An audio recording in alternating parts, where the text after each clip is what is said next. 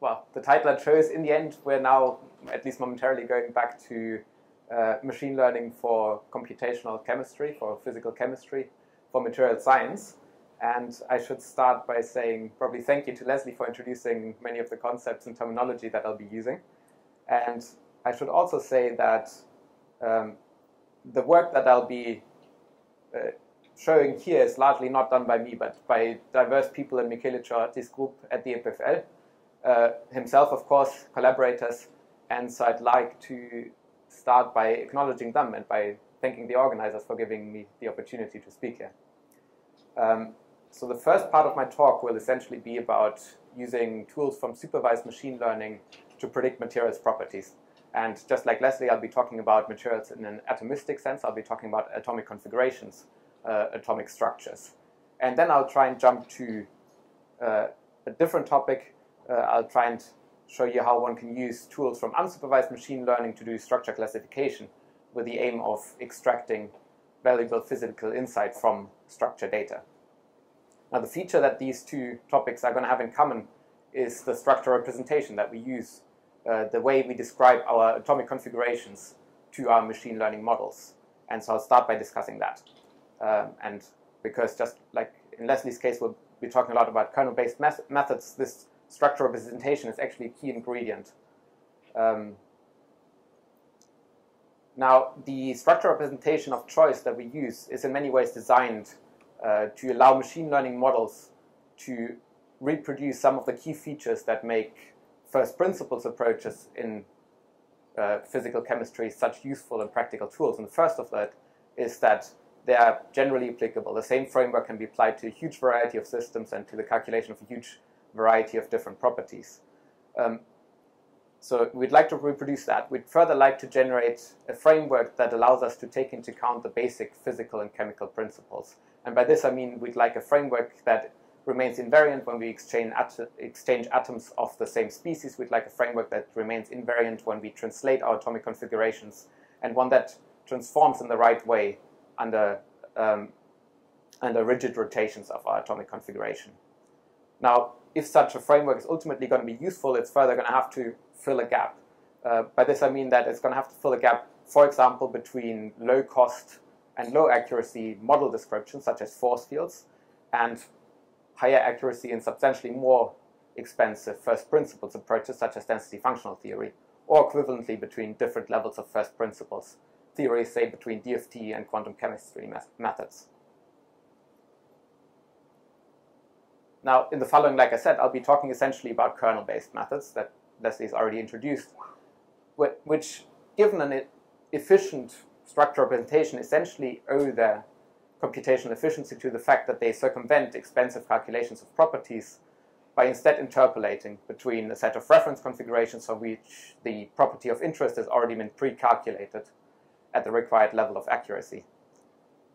This interpolation here with the example of an energy is basically done by a weighted average over a kernel measure of similarity between the structure at hand and the different reference configurations. And this kernel we can also consider and write down in the end as an inner product, um, an overlap between the feature vectors that we associate with our structures. Now in first principles approaches, the, the default way of specifying a structure, the, the default representation is simply Cartesian atomic coordinates, and if we're talking about a periodic system, some lattice vectors. But this is not a very practical way of describing our atomic configurations in the machine learning context, not least because it's a discontinuous, a point-like description, and so it doesn't lend itself to building smooth machine learning models. So the framework I'll be discussing here instead considers a dressed atom density uh, vector, which in real space you can think of as dressing every atomic position with a Gaussian density distribution and a label that specifies which species we're talking about. This density is then summed over all atoms in the configuration, which has the instant benefit that it becomes invariant under exchange of atoms of the same species. So one of the physical symmetries already fulfilled.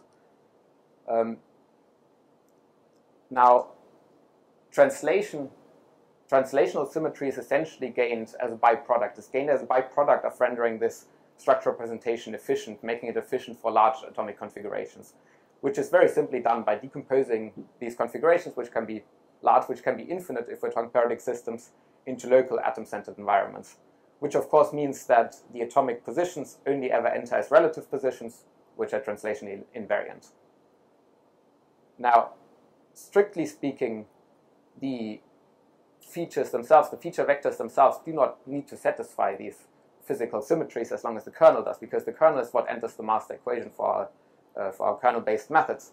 And so in this atom density-based framework, it's actually a kernel that inherits the invariance with respect to exchange of atoms of the same species and with respect to translations from the feature vectors, but is then explicitly rendered uh, invariant under rigid rotations by averaging over all possible uh, rotations of one local atom-centered environment with respect to the other. The key measure of similarity being the overlap of the densities.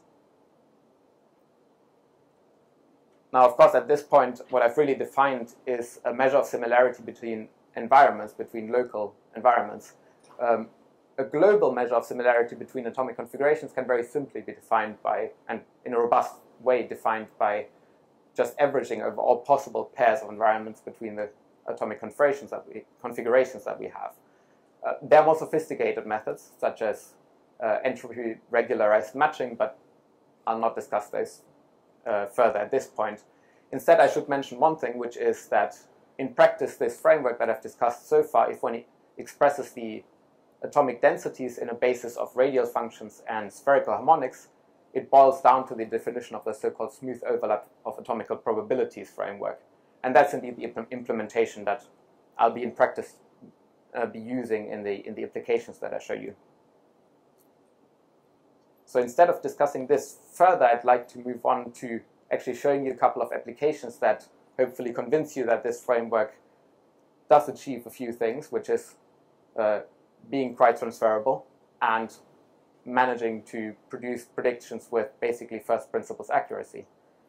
And the first example is probably the standard example uh, in machine learning for materials, and that is determination of, uh, of configurational energies.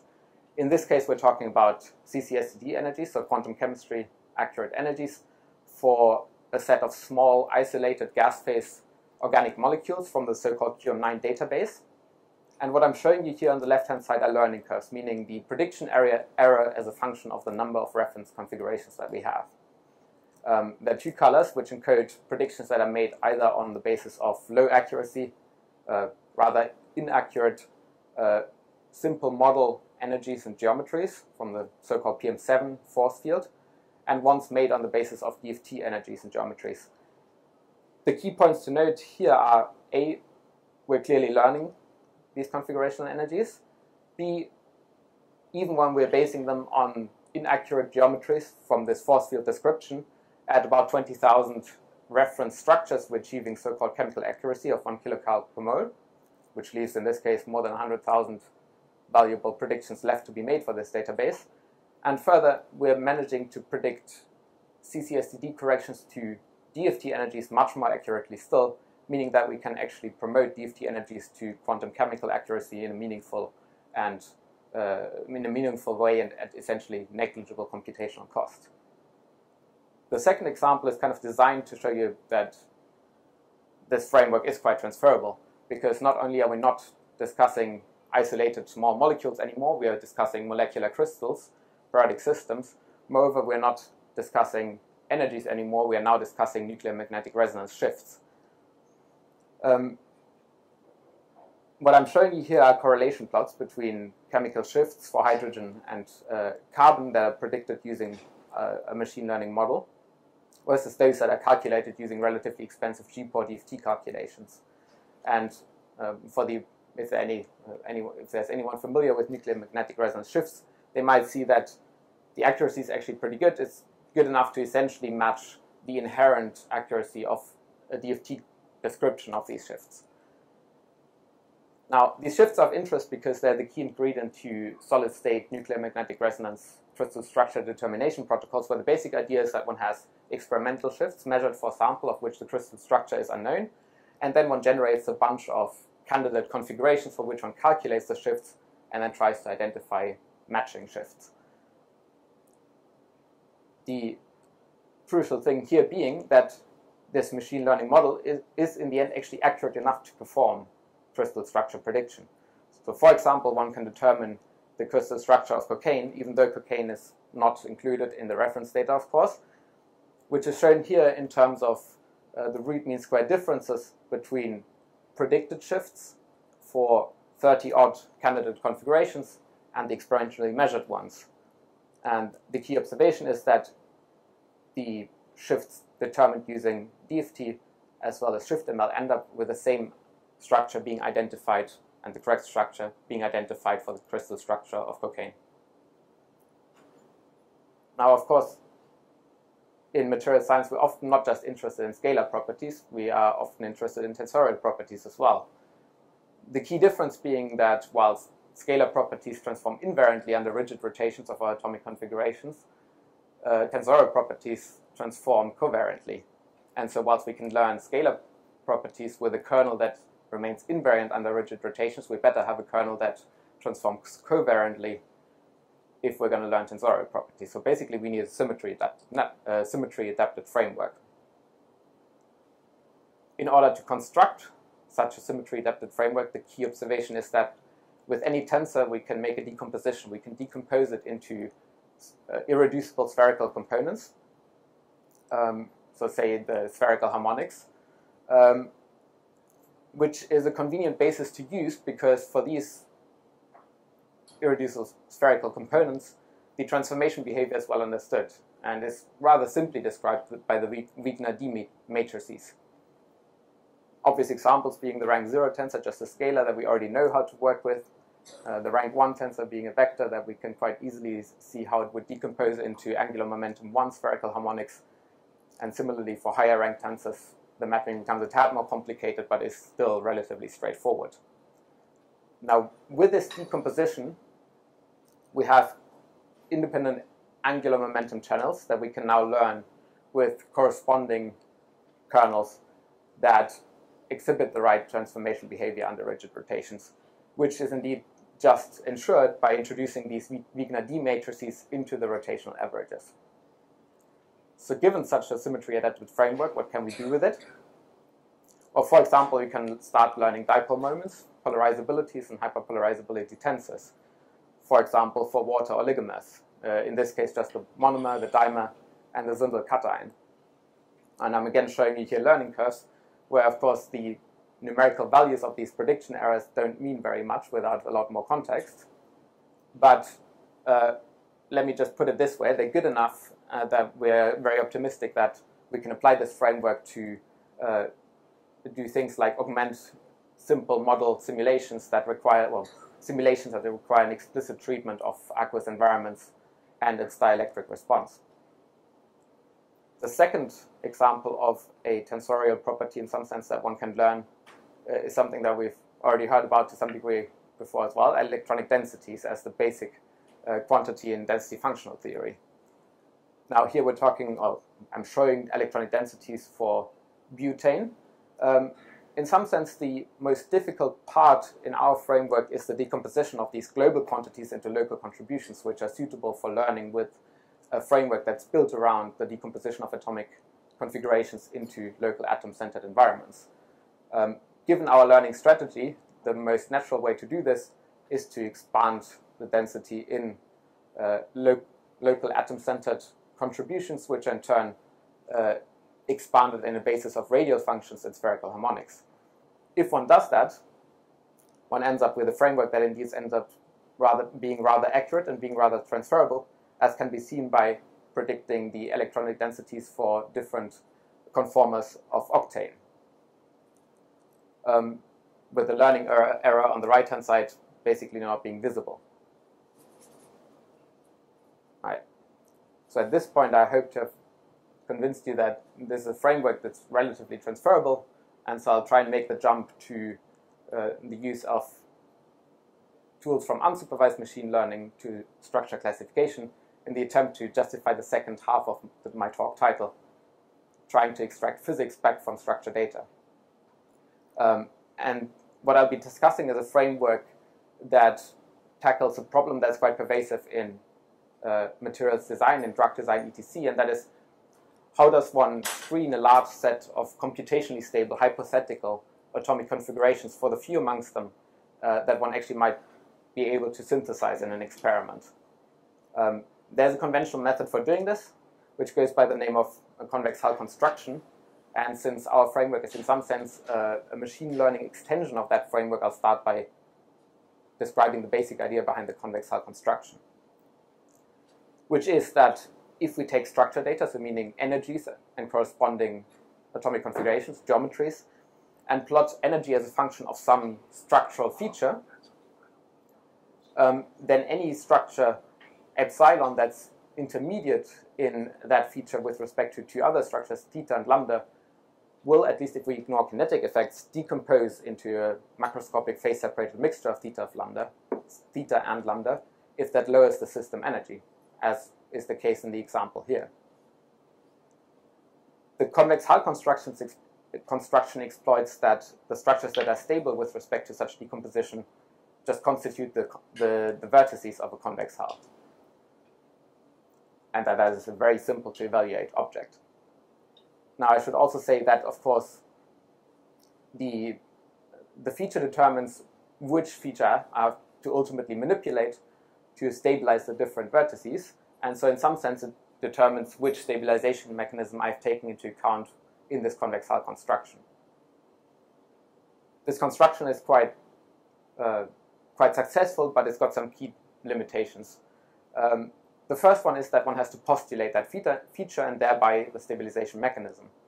And of course, if I choose that feature, for example, to be molar volume, then I can identify structures that I can stabilize by manipulating molar volume, for example, through pressure, but I'm going to miss out on any structure that might require electric fields, magnetic fields, temperature, substitution, etc. And the second, like what I've labeled here, the second and third limitation kind of go a bit hand in hand, and that is that, uh, of course, our structure data generally has uncertainties associated with it that I cannot take into account in a rigorous fashion at this point, and that I also do not have a good means of automatically and robustly eliminating anything that I might have in terms of explicit duplicates or structures that are maybe related by stacking disorder, proton, proton disorder, etc. So redundant configurations. Now, the first way, so we, we try and overcome these limitations, and the first way in which we try and overcome these limitations is by exploiting some basic tools from unsupervised machine learning. So instead of constructing the convex hull on a postulated, intuitive uh, structural feature, we now construct it on one or more uh, features that we have uh, learned in a data-driven way from the data set. So what we actually do is rather simple. We perform a kernel principal component analysis on a, on, on a kernel measure of similarity between the structures. The result being that we essentially construct the hull on axis of maximum structural diversity, and that by constructing on it on just the first few, maybe a handful, we end up exploring the full structural diversity of the data set. How much time do you have left, roughly? Five minutes? Okay in that case. Uh, the second way is, in some sense, to, to, the, to the material science community, typically a lot more intuitive, and that is that we try and rigorously, or more rigor, rigorously, account for the uncertainties and energies and structural features that we have. Which of course means that our convex hull is not actually is not actually deterministic. It's not actually uniquely defined. Uh, we should really be thinking about a convex hull distribution. Uh, and given that, what we really want to be doing is sampling that distribution. So what do we practically do? Well, we take our structure data and we randomize the energies and, and geometries according to their uh, associated uncertainties. Construct a convex hull, randomize, construct a convex hull, and we keep doing that until we arrive at a stable convex hull distribution.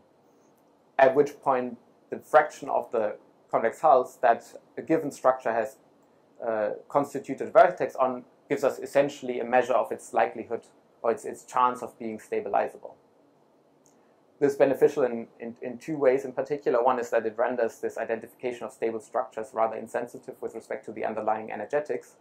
The other is that it gives us a means of eliminating redundant structures quite simply because you can imagine that if you've got multiple representatives of the same stable phase, then they compete for stability, they compete for a spot on the hull, they end up with low individual uh, probabilities for being stabilizable, and so we can just start throwing out the lowest probability candidates and resampling, at which point we start accumulating uh, ultimately the entire probability uh, on one single representative for, for a given uh, stable phase. Now, as an example of the kind of physical insight that one can extract from an actual database, structured database with this construction, I'd like to show you this, uh, this example here, which is that of a bit over 50,000 oxygen-hydrogen binary structures at 20 gigapascals constructed in a random structure search. Random structure search essentially gives you a pretty diverse data set. Uh, it's, it's, it's, very simple, and if anybody's interested, I can, and I can vaguely describe it afterwards. Um, the way I'm presenting, uh, representing this data here is on a map that's spanned by the first two principal components. Uh, their numerical values, of course, not being particularly meaningful, so they're not shown. And then colored according to this uh, probability of being stabilizable. Now, if one does this elimination of redundant structures, the, the what we call the generalized convex hull construction identifies about 100 uh, stabilizable phases, amongst them the expected high pressure hydrogen, high pressure ice, hydrogen peroxide structures, and then it identifies a couple of oxygen structures which are interesting uh, and which I'll spend the last couple of minutes discussing a bit further. They're interesting because amongst them, we don't just have the experimentally known about ones. The experimentally known structures have the oxygen molecules, if you wish, aligned in a rectangular parallel fashion in this so-called H pattern.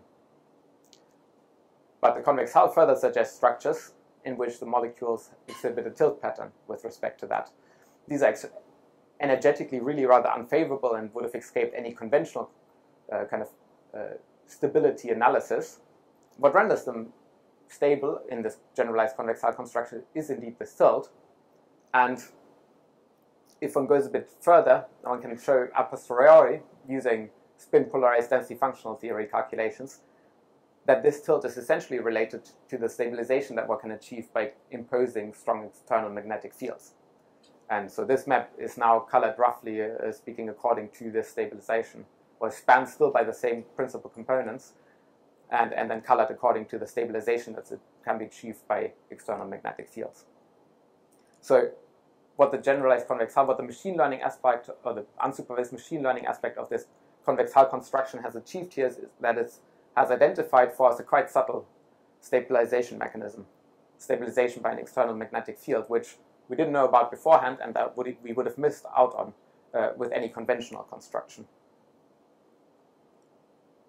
And with this, I hope to have uh, kind of justified both halves of my talk title, and I'll just leave you with a summary slide. And thank you for your attention.